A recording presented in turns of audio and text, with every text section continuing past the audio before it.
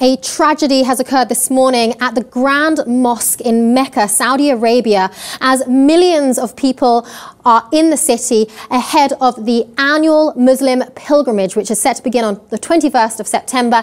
A huge construction crane has collapsed on top of the Grand Mosque, killing, we are told at this time, 65 people so far, 150 people uh, are injured.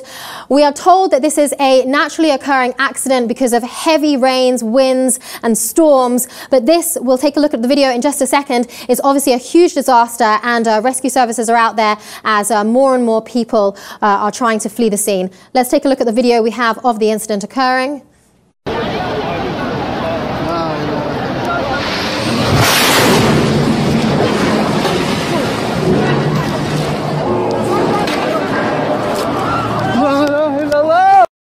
It's hard to watch a video like this. Uh, we're seeing reports on Twitter of numerous blood-covered bodies strewn on the marble floor of the mosque and the huge arm of this crane appearing right through the Grand Mosque in Mecca. Now, the construction work has been going on at the Grand Mosque for a number of years because of the sheer numbers of people that come into the city and attend the mosque at this time each year. We're told around a million of millions of people, sorry, are there at the moment with hundreds of thousands more expected to come in from all over the world. And this crane was set up as part of the construction to help the Grand Mosque cope with this. But unfortunately now this disaster has ensued. It's a, it's a tragedy indeed. Uh, it's the third expansion of the mosque as ordered by the King Salman.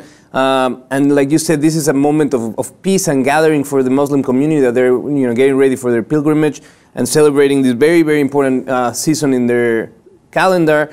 And we see that natural disasters you know, like a lighting striking a crane can create this level of, of, of, tragedy. We have around 65 the number of casualties that this tragedy has, you know, created?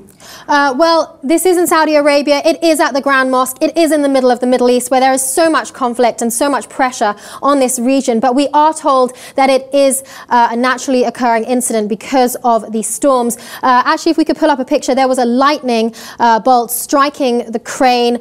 Uh, you can see just at this time this huge lightning bolt striking the crane in the middle of these thunder, rain, windstorms. Uh, so it does appear to be a natural incident. However, we do have to say it's pretty interesting interesting that it is happening on 9-11 in such uh, a religious setting.